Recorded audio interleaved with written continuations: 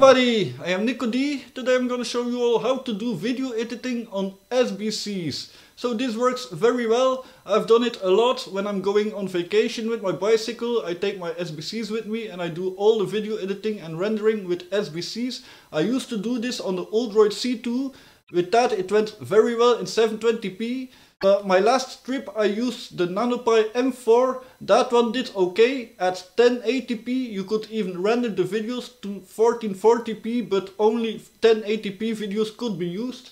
Now I am gonna try to use 1440p videos on the Odroid N2. So this can also work on the Khadas VIM3, but my Khadas VIM3 only has got 2GB of RAM, while the Odroid N2 has got 4GB of RAM and also the Odroid N2 doesn't need any cooling.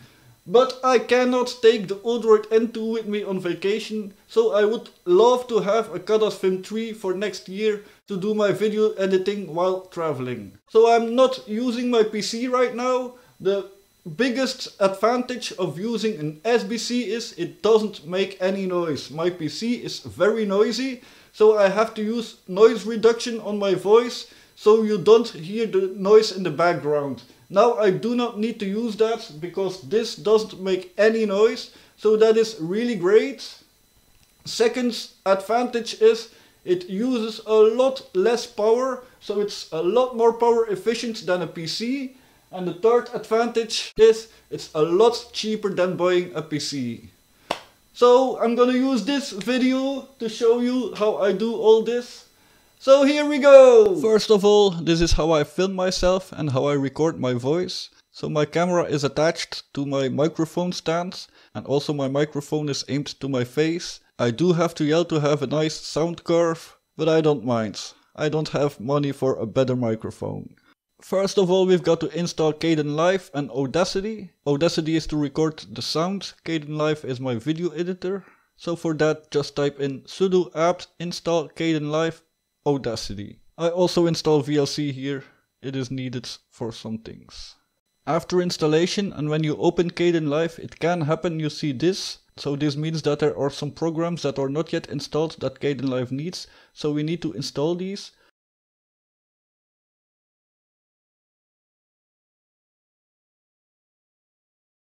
So I use Audacity to record my voice with my microphone. The microphone of my camera isn't good enough for this.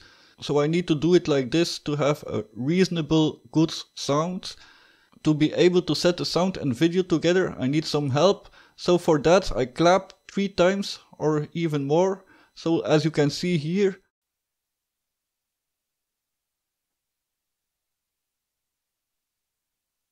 I then use these claps to put the video and the audio together at the right spots.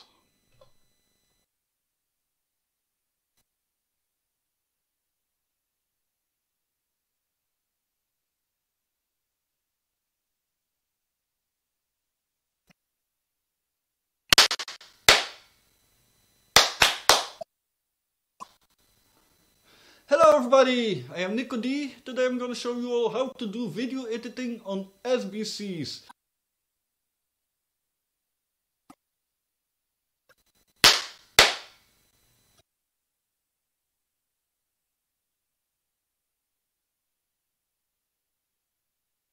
So I mute the audio from the video, so I only have got one audio channel from my microphone.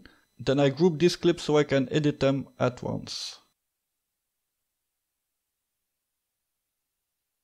Now I can cut away the claps and start editing.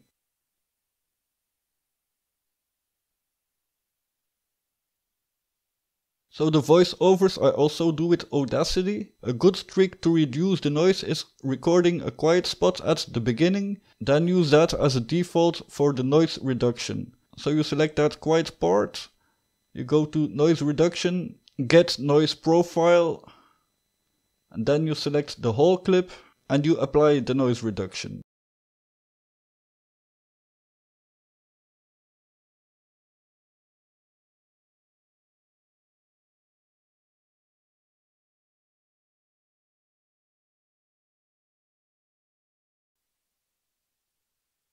Something I use a lot are title clips. So that's just text to put over the video. So you push this button and you choose title clip.